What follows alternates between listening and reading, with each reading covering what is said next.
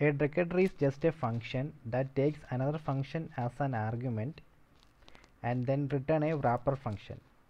So this is a decorator function and it's taking one argument. The type of this argument is function and return type also a function.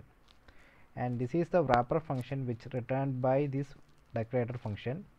So inside this wrapper function you can see that it's actually here it's actually invoking the function which we are passing to the decorator function.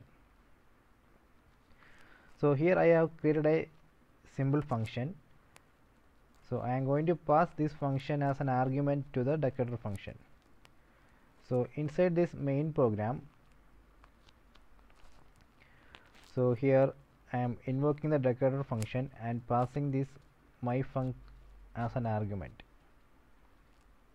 and just printing the return return of this decorator so let me see what is the output.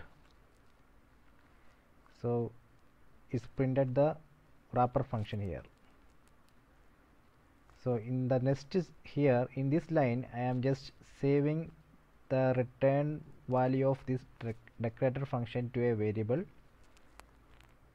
And then I am invoking actually the return value of the decorator is a wrapper function. Then I am invoking that wrapper function with argument hi. So basically this argument hi will come here. Then it will this wrapper function will invoke the actual function with that argument. So that is why here we are seeing the start this print. Then it will come here and it will invoke this function. So it will print the uh, print the message hi then control will come here. Then it will print the end this message. So this way we can we can create a function decorator in uh, go